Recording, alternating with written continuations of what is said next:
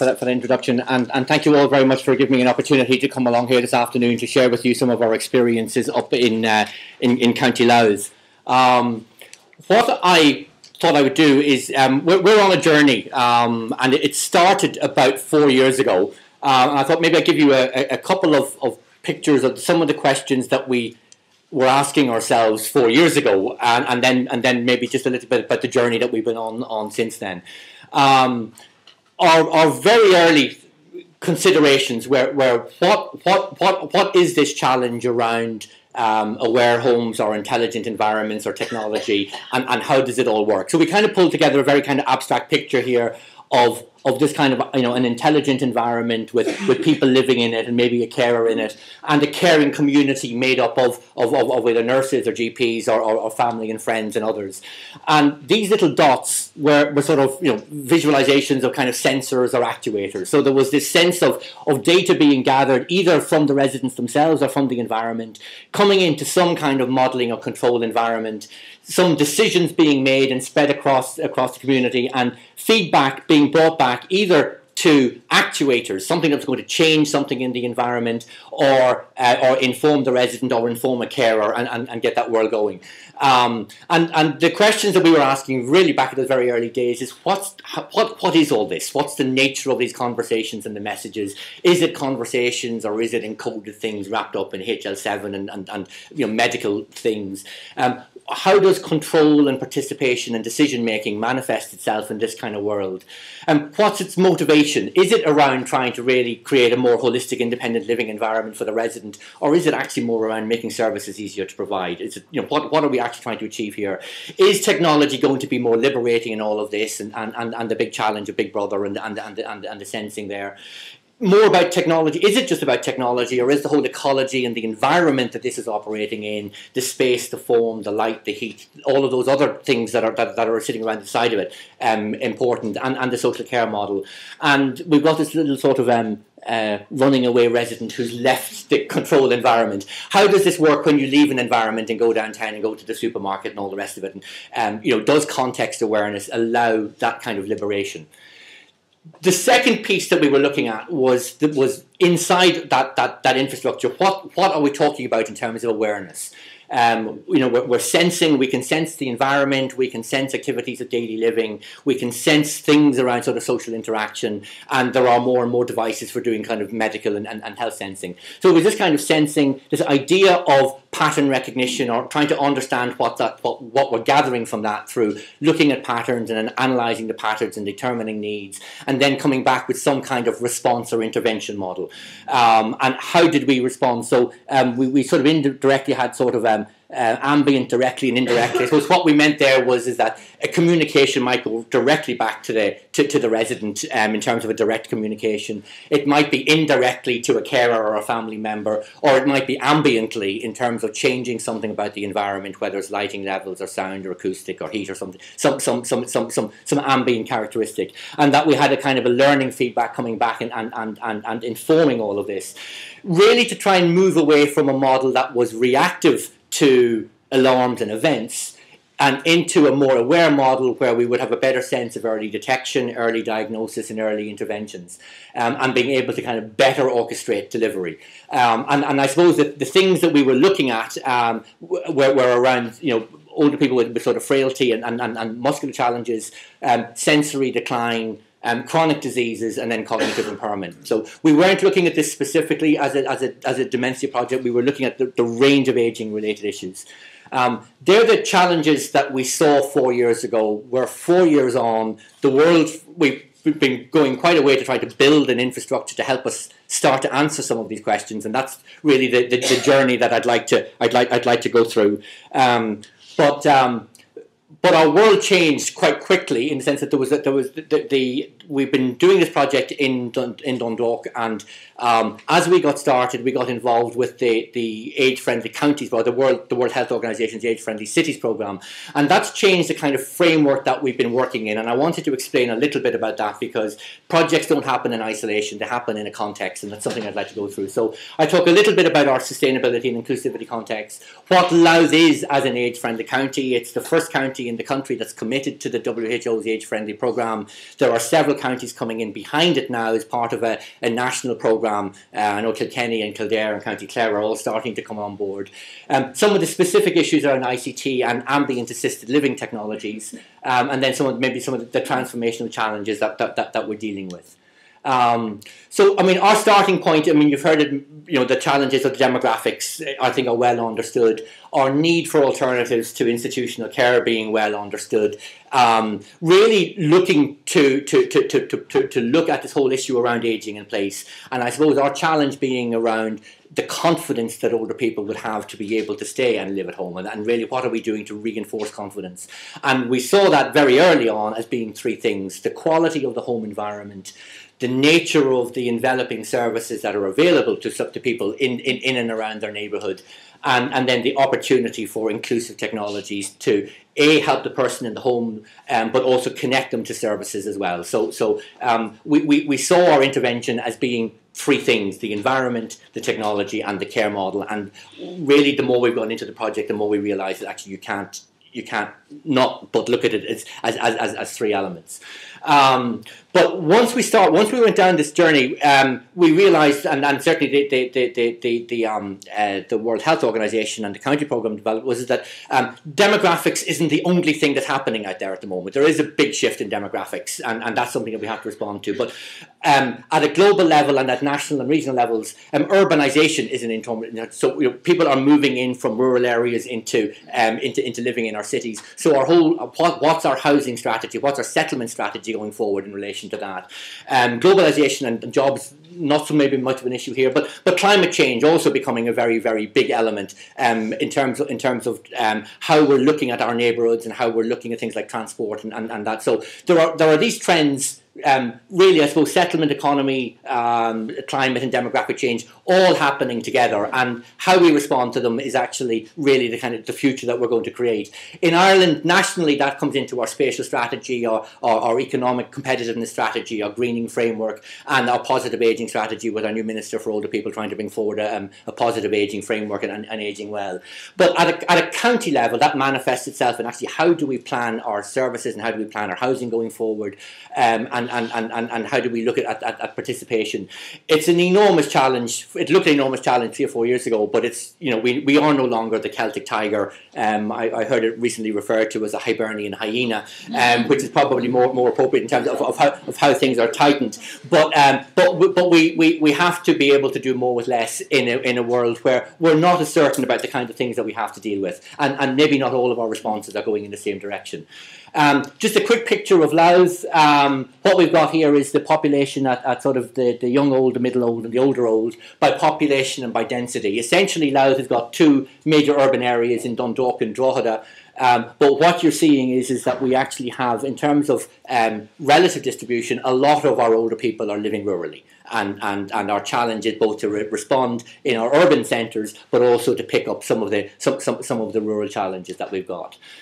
Um, for those of you who aren't familiar with the Age Friendly Cities program, um, the WHO um, launched a program several years ago called the, the, the Age Friendly Cities program. 33 cities from 22 countries participated in it, and Dundalk represented, um, re- represented Ireland in it.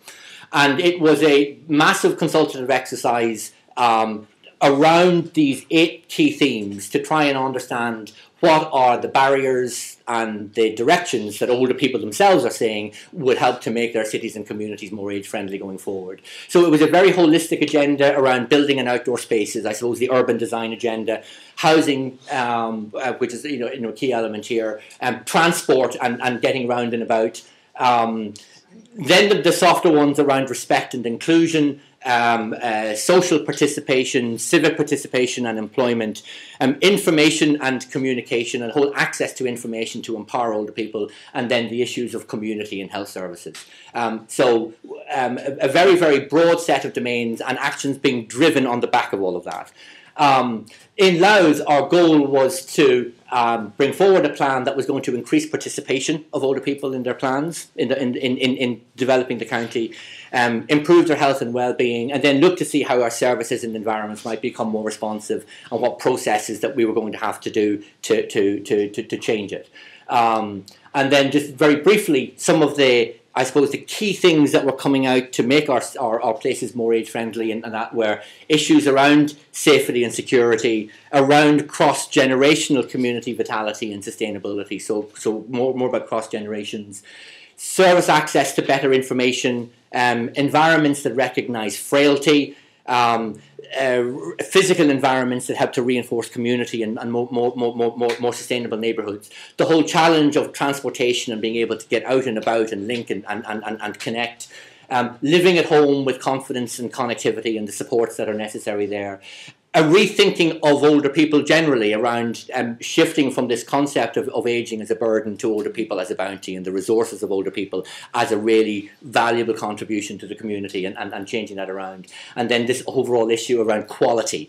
Um, we have loads of guidelines and loads of standards around how we should do this and technical guidelines around the minimum of this and the minimum of that and how much of that goes with how much of something else.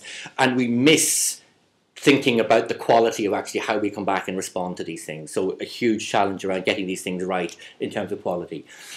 In um, it's a bit, I suppose, the last of our organisational ones. Um, the, the, delivering of all of the work that we're doing in Louth um, has been embedded in the county development programme. So for those of you are the county development board, so for those of you not in Dublin, um, we have um, a, an organisational structure called the county development boards who are responsible for bringing forward um, uh, development plans at the county level. But it's the only place where all of our stakeholders sit around the table and look each other in the eye and, and come up with integrated shared plans. So the HSE, the Garda, our chambers of commerce, our local authorities, our NGOs and our enterprise development agencies all sit at the county development board. Up until now, the county development board, it's not an executive function, it's only responsible for bringing forward plans, but we've been using the county development board as the collaborative engagement model in order to be able to bring forward all of the work that we're doing in County Louth. So um, our strategy is embedded within the cultural pillar within the County Development Board,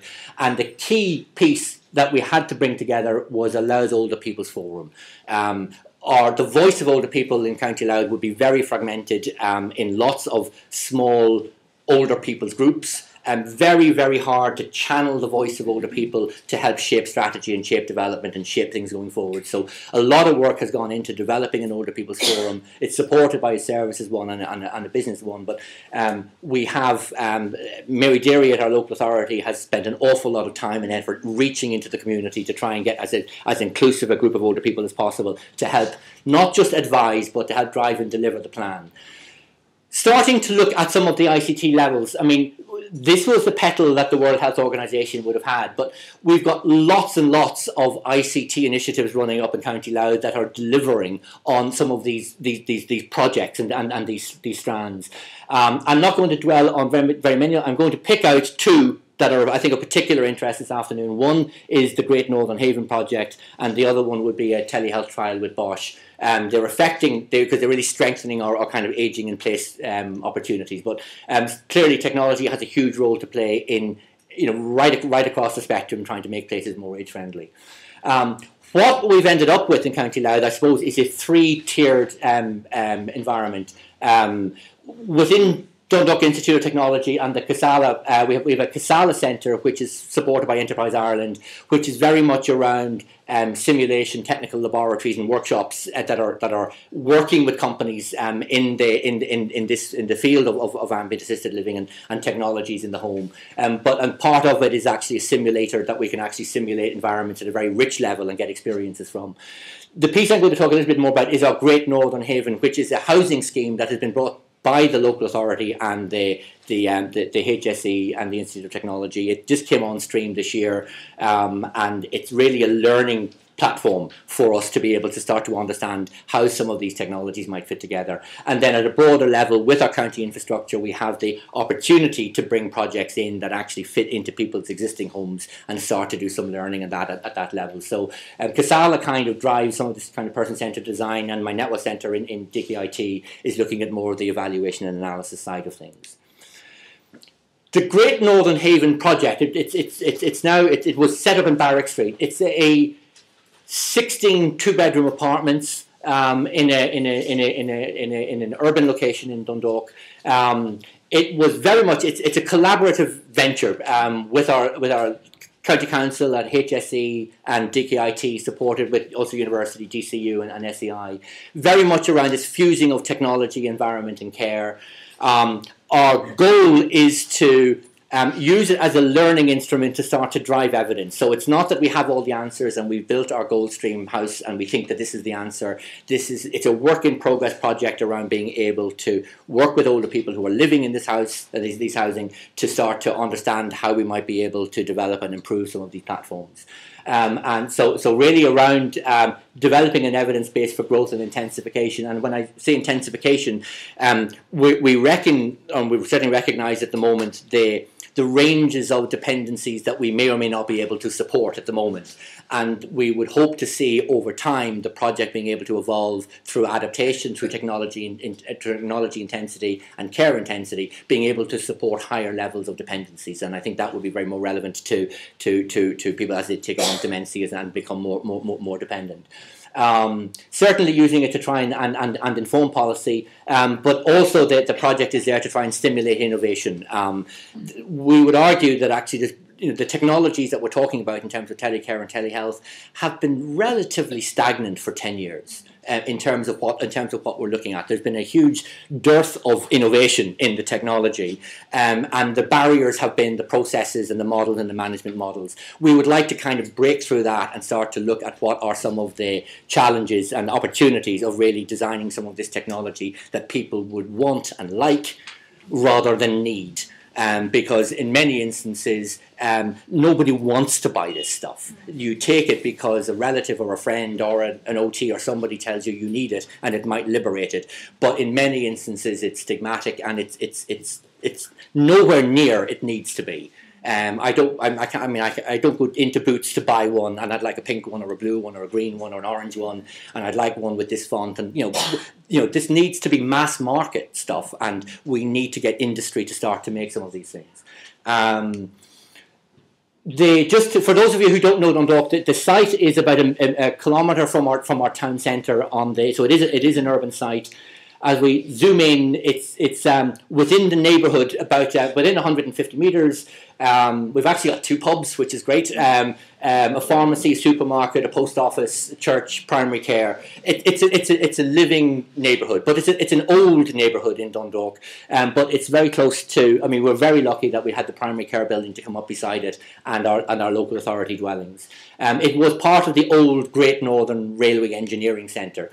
Um, the scheme um, is, is um, as I say, 16 two-bedroom apartments, and we'll go in and have a look at the technology in a moment. So it's, it's um, built over two and three floors um, an outreach centre and, and in-reach centre for, to, to, to, hook up with the community. Uh, one of the units has been set aside as a transition uh, step up respite um, and also demonstration training and learning. So people can come out of the hospital and, and, go in here and maybe even live in here for a week or two, get the feel of how some of these technologies and adaptations might work, and that can actually become the spec for going back to their own home in terms of ad- adapting their own home. So it, it's, a, it's, a, it's, a, it's, it's, it's very kind of transition based. Um, our primary care building. Um, and uh, so some of the key elements, um, space features around lifetime adaptability, um, clearly around accessibility and, and quality of the environment in terms of light and, and, and ventilation and healthy home. Um, Dundalk has a very strong commitment to sustainable energy, so the energy features, uh, uh clearly that becomes a bigger issue going forward when we think about the challenges of energy poverty and that, um, and, and, our, and our, our new world of, of, of building ratings, but um, really, really utilizing things like passive orientation and, and high insulation in the fabric and um, uh, window and energy energy sources and that to try and have a very it's, it's an A2 rated building. So um, it's we're going into our first winter now, so it's going to be really interesting for us to get a sense of how it how it does respond and and, and, and change. And the our, our world was very it's very much designed around the idea that um, we want to adapt and respond to people's changing needs.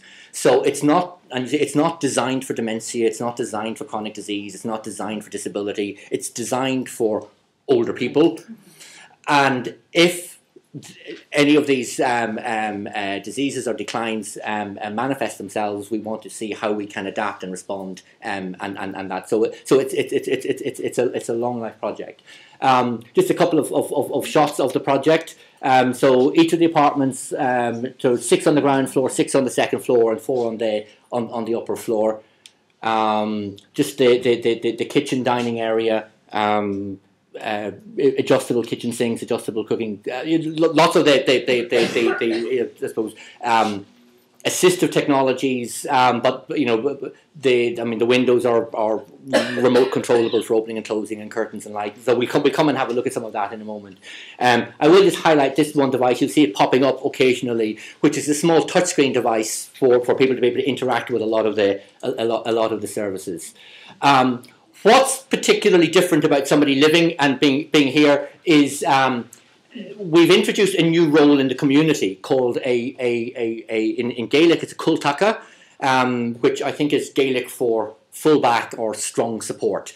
Um, the, it, it's based on a model that we saw in Holland uh, where the terminology was called omtinker. And it's a sort of a cross between uh, an advocate, a case manager, and a professional friend. So we have two of them in the community working with us. One has a nursing background, one's an ex-Garda. And they're their function is to help the older person to help themselves, and they are separate and independent from the service providers. So they're there with the older person to help beat up the service providers um, if they're not delivering and if they're not if they're not if they're not working right. So it's it's I know in disability there are the advocates and that sort of thing. So it's it's it's a, it's a role that's there really to help connect the older person. At the moment, obviously, we've got the sustainability challenge of where does that sit. At the moment, they're employed by DKIT in the college. We have to go and develop the, the, the, the sustainability model around that. But but that's that's a very unique role. And um, they're not only support, supporting people in here, they're supporting the whole neighbourhood, and, and, we're actually trying to grow that structure out right throughout the county at the moment. Um, adjacency to primary care services and access to primary care packages, which would be the, the, the, the key element here. Um, but then the remote telehealth monitoring, um, the home itself is, is essentially um, brought, brought together by a local authority, so um, with HSE support. So um, one could see it in terms of social housing. So it, it, the, the technical management of the home is done by Clúid, a voluntary housing body. So in, ter- in terms of getting the mix of, of, of, of who's involved. Um, trying to get we're sort of moving into some of the more the more, the more techie stuff. Um, if we go back to that very first picture that we had, our second picture about what our model was, it's very much around looking at our house and seeing what can we sense, and we're sensing lots of different things. We can sense data entry. We can sense what people are putting into computers and what they're using on on touch screens and what they're using on on, on TVs. Um, we can sense, and i we, we can, we're not doing all of this today. This, that our, our infrastructure is set up to be able to support us.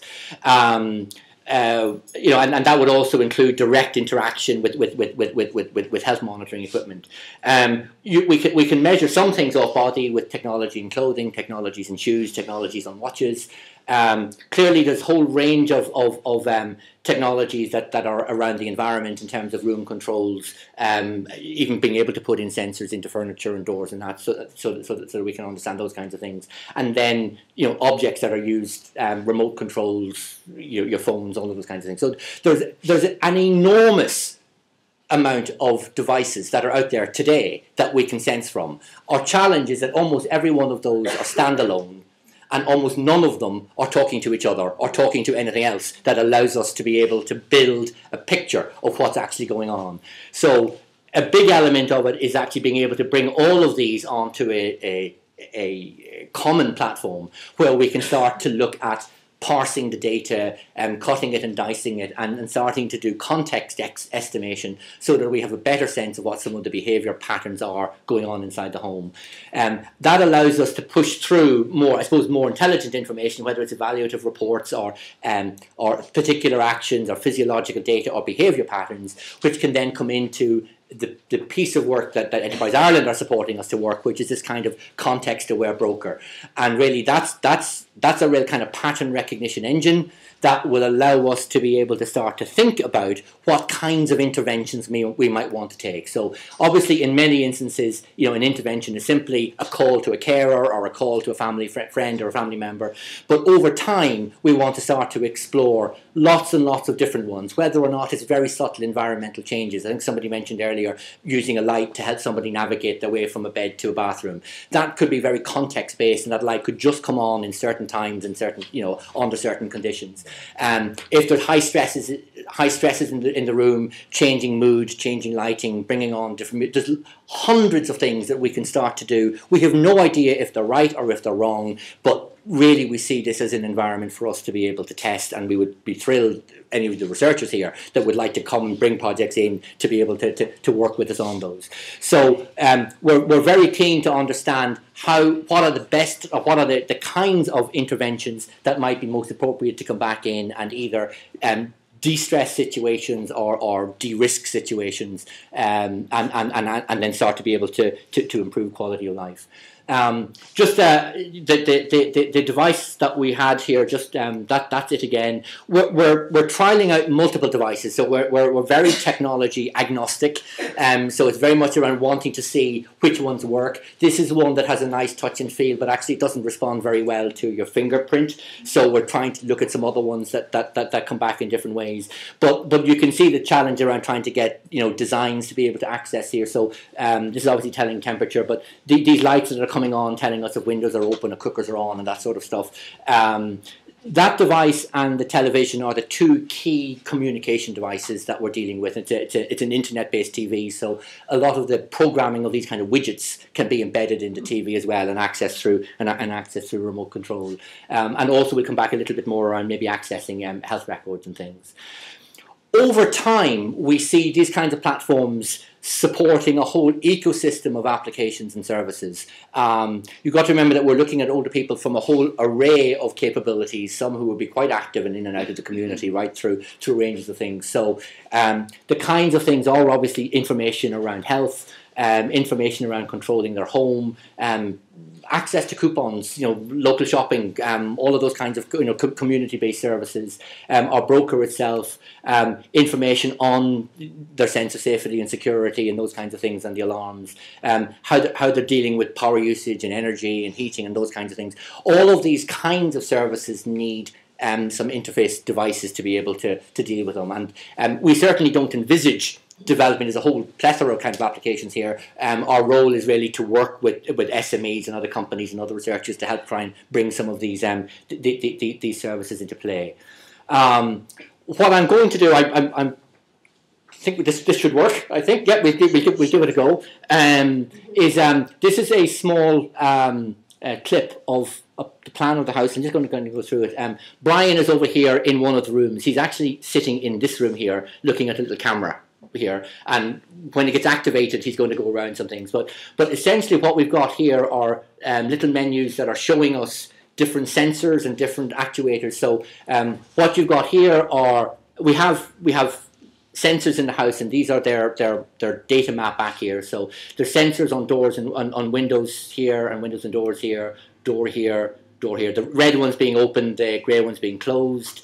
Um, at the moment, there's no sense of presence in any of these ones here, and we've got two lights on, and they're being reflected over here. Um, what's going to happen is, is um, uh, Brian's going to go and do a little tour, and as he tours, he'll trigger a, constellation of these sensors turning on and off, um, just to give you a sense of the kind of data that we can gather. Um, and uh, some of them will be a little more latent than others. Some of them, some of them. So we, we might actually do it twice. Let me just, just see if I do Oops, sorry, no. Uh, go back here, do I? Just do it, just hit go, right? Sorry, I was just. Oh, just click, is it? Hi, I'm just going to briefly show you some of the sensors in action in the smart home. I'm going to walk from this room, He's going to open go the here. door, He's going to go there. walk into the living room, He's and gonna you should see sensors Yeah. activating on the big screen all the time. Okay, thank you.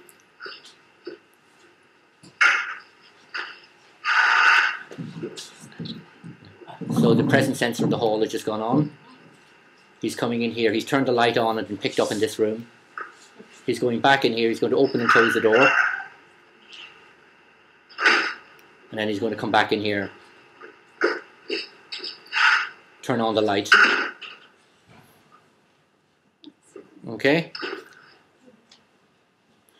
Now, there's a couple of other things that have been going on in there. I, I, um, I might just find it because one of the things you might look here, there's a lux measure here. Um, there, there isn't a presence sensor in this room, which is why that one hasn't gone green. But if I just do this again, I'm just going to run it again, just see what. Hi, I'm just going to briefly show you some of the sensors in action in the smart home. I'm going to walk from this room, open the door, walk into the living room, and you should see sensors activating on the big screen all the time. Okay, thank you.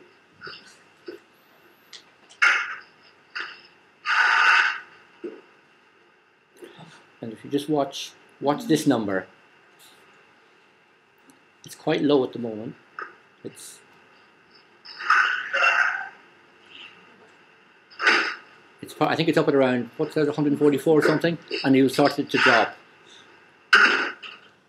That's a, that was a, a, light sensor, lux sensor, and actually what it was picking up was all the, the daylight that was coming through here whilst those doors were open. And as those doors shut down, the light level dropped, and and the, that that measure has, has dropped down as well. Um, we've got about 2,400 sensors in this housing scheme um, of this type. Um, uh, so we're looking at, and so the 16 occupants in it um, are, you can imagine the kind of data that's being generated from this kind of from this this kind of thing.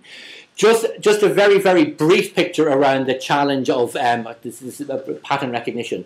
It's around data gathering, um, visualizing the data, um, examining patterns, and then starting to look at, at algorithms that can start to auto auto attach.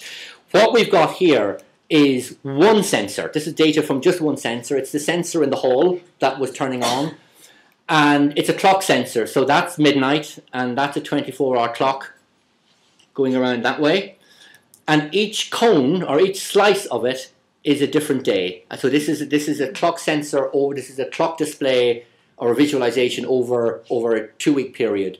Um, so, I mean, obviously, what you can start to see is patterns of kind of peaks and troughs. Um, you know, generally going to bed at night and getting up in the morning. Um, ranges of activity. You can see some, some things. So we start to see patterns in the data, and then that starts to drive down further questions and further analysis um, until we can start to be able to actually start to pull some data, some some some some some, some more, more more robust behaviour.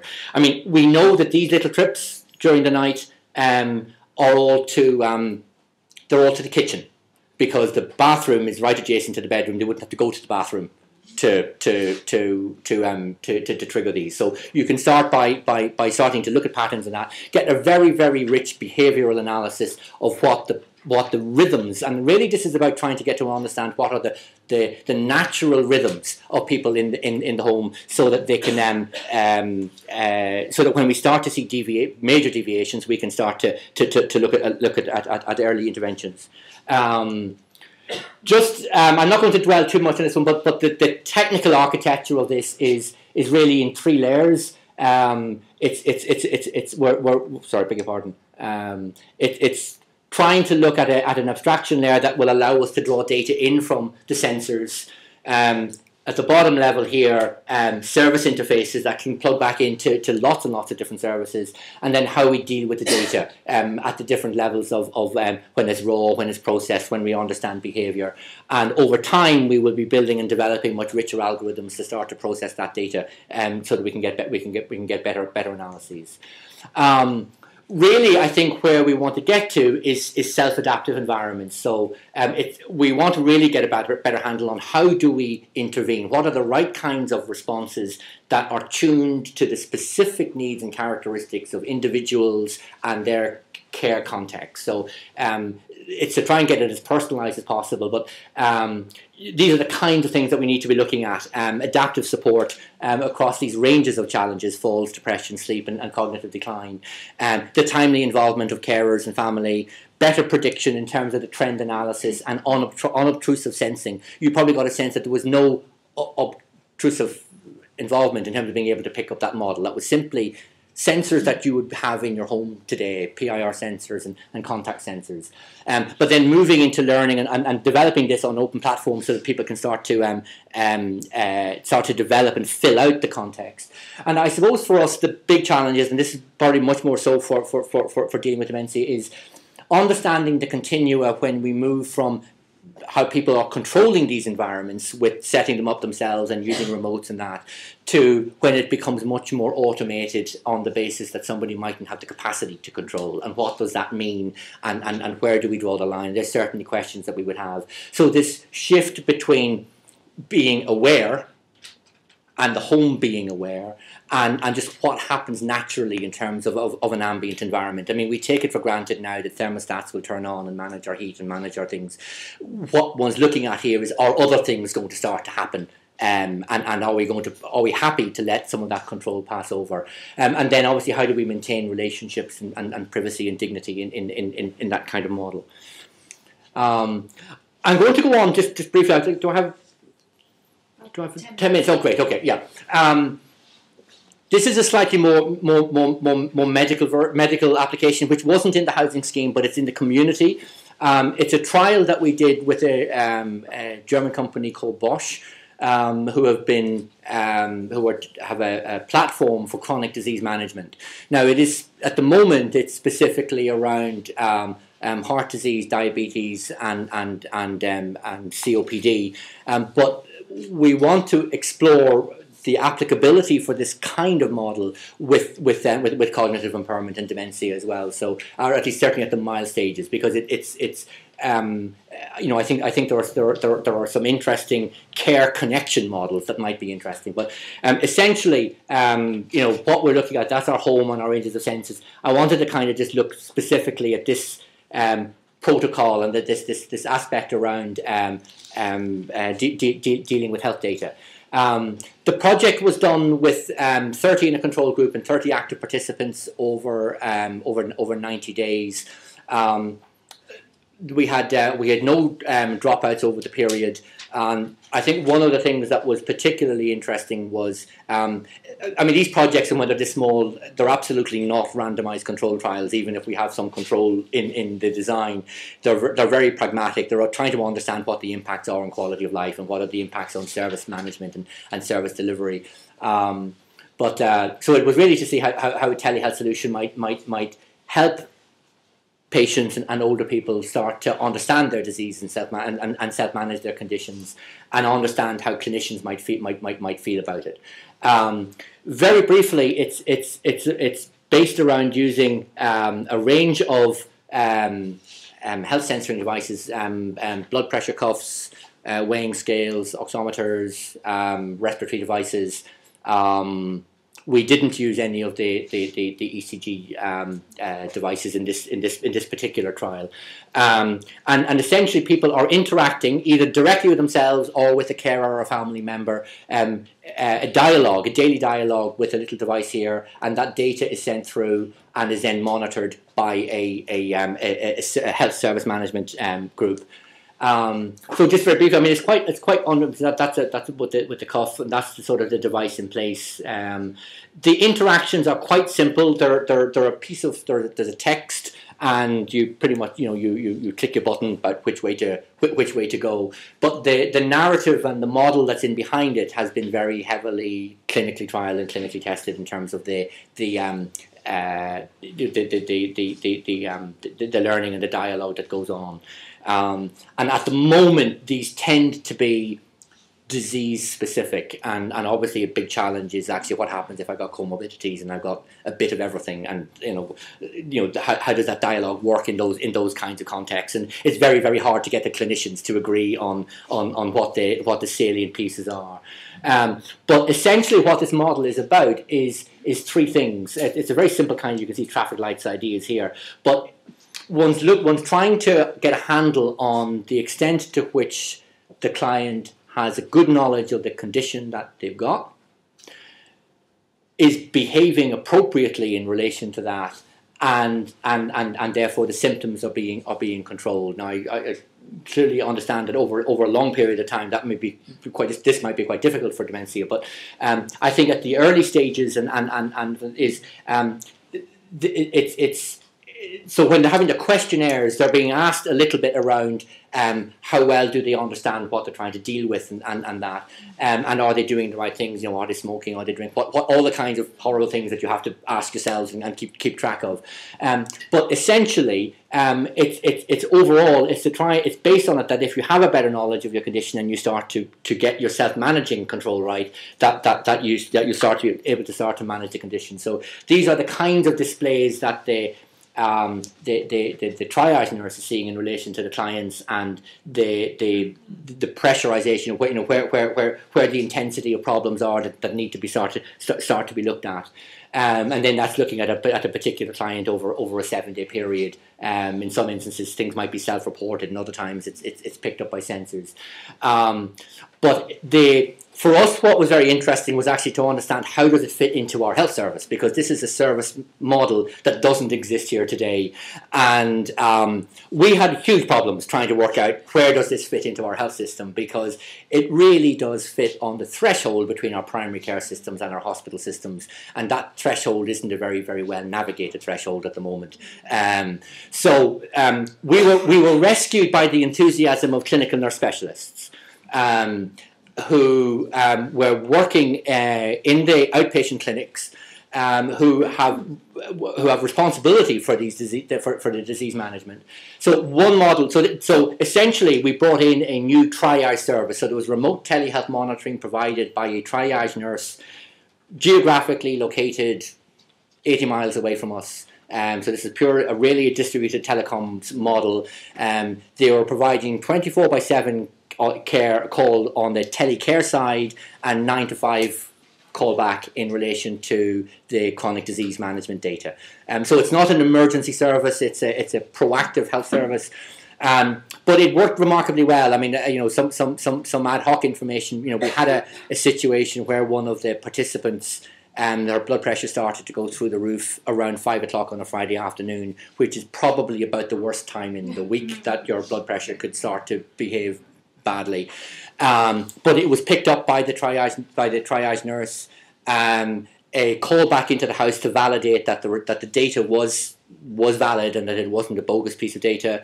Um, a quick call to the clinical nurse specialist who was able to come online and look at the data directly. Um, understood the situation and made a, a, decision to increase the medication dose by half a tablet. And within two or three hours, the situation had been completely managed, dropped away. Without that type of service, that would have been an emergency admission into the back end of Lourdes Hospital, um, and you'd have been sitting in a trolley until probably sometime Monday afternoon until something would have happened. Just just a measure of, of the, the, the flow of service that, that, that can be enabled here. Um, so that, that, that, that, that, that, that, that's a very clinical nurse model. I think obviously a much more integrated model is when we start to see, you know, the tie-in with GPs and public health nurses and that. Um, I, I think, you know, for us, it's probably a sense that you know this will evolve over time, um, but but there's lots of changing practice and problems, and and I'm going to argue that evidence isn't going to do this um, we need something more than evidence to make these practices change, and we'll we'll, we'll come to that. Um, so this is just a couple a couple a, couple a couple of a couple of learnings. Um, our, our, overall model is, is, is one of, of, of, of it's a place based model. So we we we we're looking at people, we're looking at environment, and we're looking at lifestyle and that and and um, uh, and, and patterns. So I'm going to just kind of run through. This is just some of our quick early learning where we are today. Um, we, we, with huge amount of conceptual problems. Um, the relationship between anyone and anyone else seems to be a real problem for us here in Ireland. Just, I think we, are lost for language um, because we really don't know are we talking about a client, a patient, a beneficiary, a tenant, a resident, an occupant, a customer, a user, a citizen, a person. Anyone, in, we name people by the role and relationship they're in. We really don't talk about people as people and we've got to find uh, we've got to find some language that breaks this down because when we talk user we mean somebody who's using. When we talk customer we talk about somebody who pays. When we talk about client we actually should be talking about somebody who pays a lot. Um, um, you know they, they, they, you know um, you know we, we, we, we, have, we have a problem with this and, and, it, and it, it manifests all of our relationships and it's, it's, it's, it's a problem of our you know person-centeredness and citizen-centeredness. It's a, it's, a, it's a citizenship problem. It's not just person-centeredness and service. I think it's a broader problem than that. um, we had a huge problems around this need to categorize and differentiate. Everybody in our project wanted to know what was the disease characteristic that we were building the housing for. Was it for dementia? Was it for disability? Was it for, for end stage this? Was it for Y stage something else? We wanted a housing scheme for older people that could live and they could adapt and, and, and live in and it would follow them through their through through through through, through, through to end of life. Um, and our, we have a real danger of our speciality becoming exclusive rather than inclusive. And I think that's going to be a real challenge for us in terms of how do we deal with our generalization as well as our specialities. And, and, and that comes that really will hit on the environment side when we start designing environments specifically for dementia as opposed to environments for everyone that people will because we're starting to see conflicting demands and we're going to have to start to navigate some of those things. Um, obviously the whole problem of integrated services and assessments, the local authority is one way of doing assessments, the HSE is another way of doing assessments. In fact, the HSE has three ways of doing assessments. Um, so lots of lots of lots of different worlds in here that that were, were challenges in terms of kind of bringing some of this thing together. And then I think also just our our, our matching vision with with what's there today. So, for example, um, when we were looking at who might be able to move into the, the, the, housing scheme, there was a sense we can't bring those people in because we don't have a night service. When actually the answer was, let's get the night service so that we can bring those people in. Um, and, and that shift in, in, um, in, in, in, in, thinking is, is, is something that we have to look at. At the, at the implementation side, um, obviously bringing the building into place, and um, the challenge around what's universal and what's adaptive. Um, we went for an infrastructure that was scalable um, and very general purpose, and that we could start to layer things on top of it. Um, lots of, of conflicting demands around balancing sustainability versus accessibility versus anthropometrics. Um, you know, they, they, we found, it, I'll be honest, we found a difficulty that, that we couldn't get consensus between occupational therapists from four or five different groups to say this is actually what we need. You know, the, you know, so you know we were finding even differences within within within groups.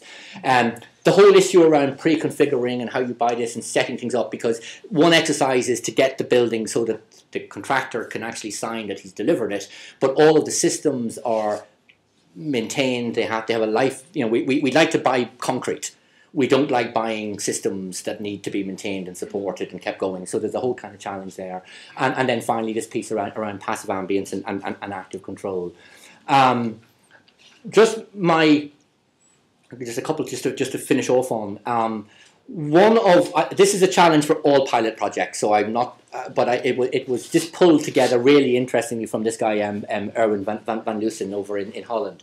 And I mean, the, the picture tells it. Okay, I mean, we, we love this idea of, um, oops, I'm going to come back here, of, of um, you know, growing intensity of commitment. You know, so you're putting in resources along this side, and your project is running along that side.